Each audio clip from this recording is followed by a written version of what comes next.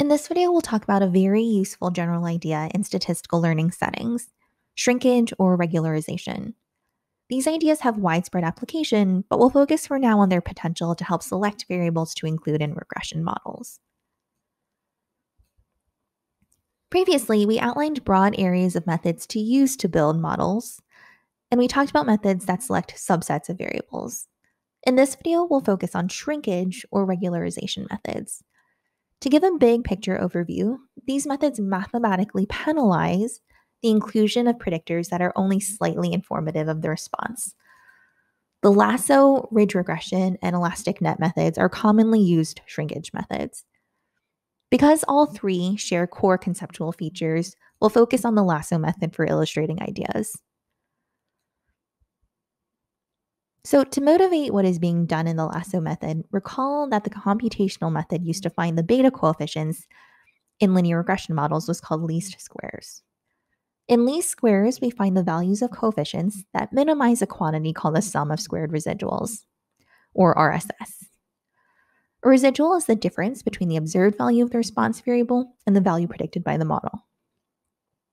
In minimizing the sum of squared residuals, the goal is to find coefficients that make your predictions as close as possible to the observed responses. A problem that can arise with the least squares approach is the potential for overfitting when the number of predictors increases. In the plot here, we have a dataset with 20 observations, where all predictors were simulated to just be random numbers. We increase the number of predictors included in the model one by one, and we see that as the number of predictors increases, the sum of squared residuals is always decreasing. And in particular, when the number of coefficients is equal to the number of cases, we achieve the perfect RSS of zero. In general, this is a problem for the least squares approach. Including more predictors automatically improves the sum of squared residuals metric. In this example, the predictors were just random noise, and the fact that adding random noise predictors gives such clear improvements in RSS suggests that least the least squares criterion is not ideal when there are lots of predictors being considered. It turns out that the lasso method uses a modified criterion that helps in cases where there are lots of predictors. So, LASSO stands for least absolute shrinkage and selection operator, and the criterion that it uses to find good beta, beta coefficients is to minimize a penalized version of the sum of squared residuals.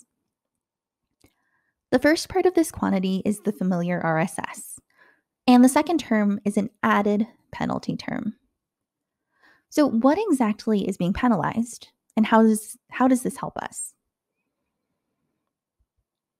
If we look more closely at the penalty term, we see that it involves the sum of the absolute values of the estimated coefficients. In the lasso method, we want to minimize this entire quantity, but this penalty term can only be positive. So its presence is hurting us in some sense. But we'll see that it also helps us in a substantial way by mathematically encouraging certain qualities in the estimated coefficients. To see this, we need to dig into the mathematical mechanics behind the penalty. We want this penalty term to be small so that this entire penalized sum of squared residuals is minimized. So let's ask, when is the penalty term large?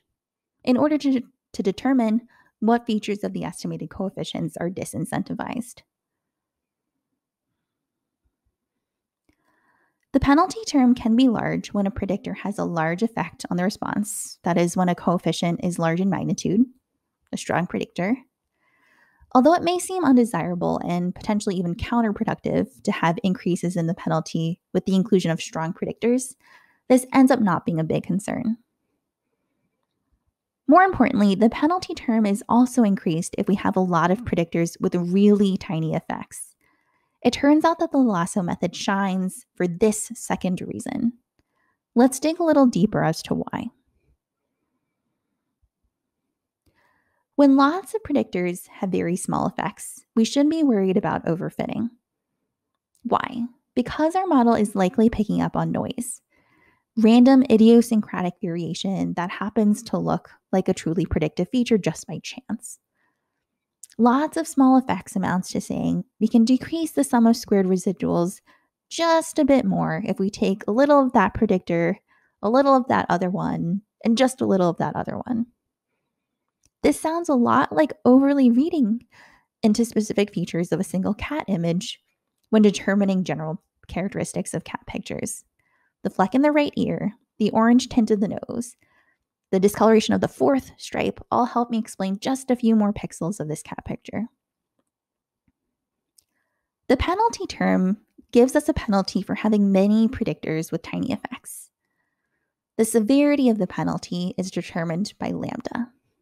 The higher lambda is, the more severe the penalty, and severe penalties incentivize the coefficients for these weak predictors to be zero. Why?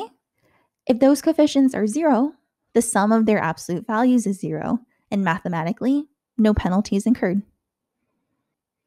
Another way to describe what the penalty term is doing is that it shrinks coefficients towards zero so that less of a penalty is incurred.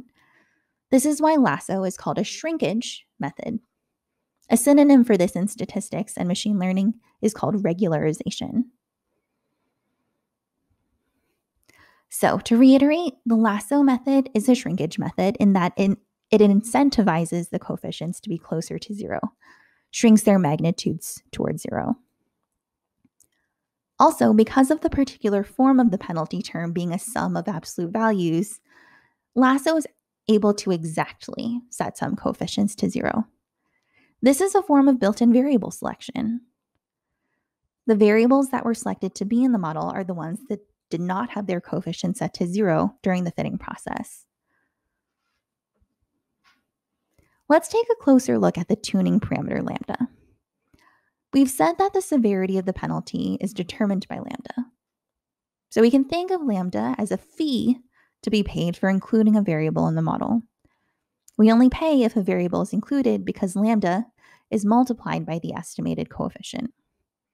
If that coefficient is zero, the variable is not included, and we don't pay the lambda fee.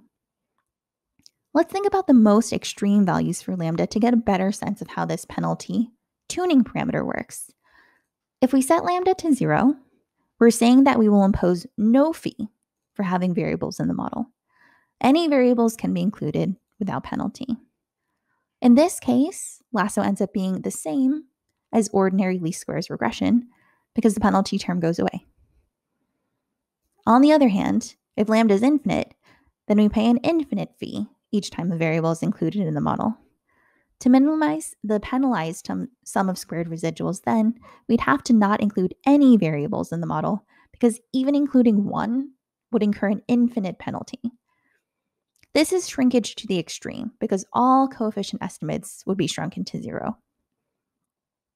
What we want is a lambda that is in between some intermediate fee that discourages us from adding a very weak predictor, one with a small coefficient magnitude, but also does not incur too much of a penalty for our strong predictors. Remember that because of that sum in the penalty term, all predictors get penalized. We want to choose lambda carefully so that the best model is chosen. Let's look at an example from the ISLR book on a lasso model for predicting an individual's credit card balance.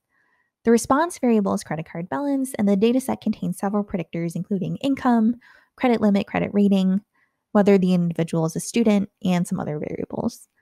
The plot here shows how the estimated coefficients, plotted on the y axis, change as the penalty lambda, shown on the x axis, changes. As the penalty severity increases, the estimated coefficients move more and more towards zero.